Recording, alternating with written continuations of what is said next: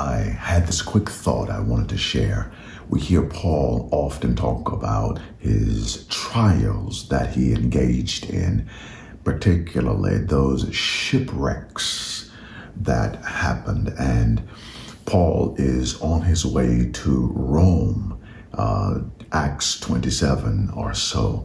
And uh, by uh, 28, uh, he is uh, on an island called Malta. He's been shipwrecked. During that process, they've been at ship, uh, sea many days. An angel shows up, instructs Paul, tells him that everybody is going to be saved if they stay with the ship. Paul is shipwrecked. Um, and that's some interesting stuff right there people were saved because they stayed with the ship, if we call the church the ship of Zion. Uh, you can be saved if you stay with the church. But that's not my point here. Uh, Paul is shipwrecked on his way to Rome uh, where he would do great things in terms of the house of Caesar and stand before them, so on and so forth. But while there, he's bitten by a snake, grabbing um, a pile of uh, wood to burn on the fire.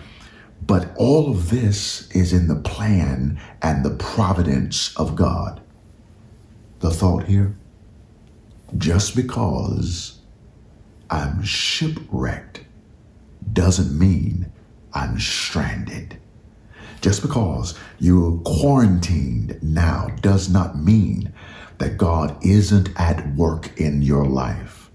Allow God to continue to direct your life stay with him. The church universal, the church universal, stay with him. Watch him move. Stay within the confines of what it is he's called you to do in terms of witnessing and bringing people to Jesus Christ. Just because you're shipwrecked doesn't mean you're stranded. Just because you're quarantined doesn't mean you're closed off. Let God guide your life. Live well, hope well.